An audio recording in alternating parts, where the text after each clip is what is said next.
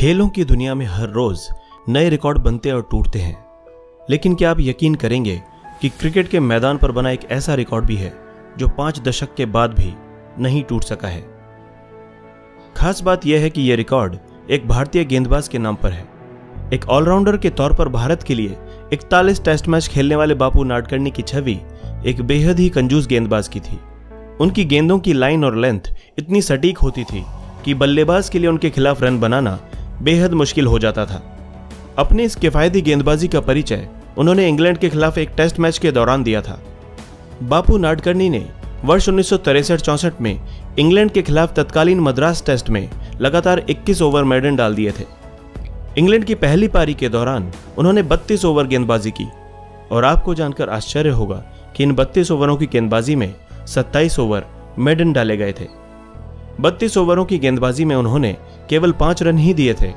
यानी, उन्होंने सिर्फ़ मेडन ही नहीं, बल्कि अपने पाँच ओवरों में सिर्फ़ एक एक रन ही दिया था।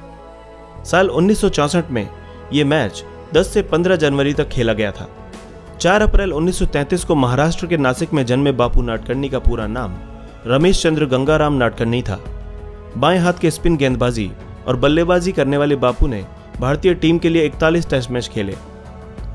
उन्होंने 25.70 शून्य के औसत से 1414 रन बनाए, जिसमें एक शतक और सात अर्धशतक थे। गेंदबाजी में उन्होंने 29 की औसत से 88 विकेट हासिल किए थे।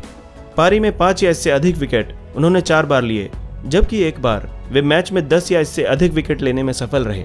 43 रन देकर छह विकेट उनका सर्वश्रेष्ठ प्रदर्शन था। नाडकर्णी ने अपना पहला टेस्ट दिसंबर 1955 में न्यूजीलैंड के खिलाफ दिल्ली में खेला था। इसी टीम के खिलाफ 1968 में उन्होंने अपने करियर का आखिरी टेस्ट खेला।